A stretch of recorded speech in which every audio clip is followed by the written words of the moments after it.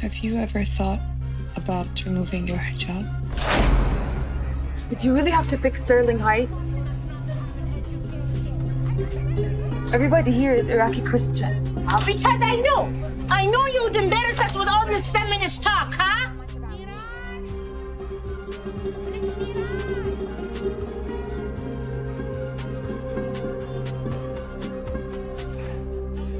You need to rest. I wish.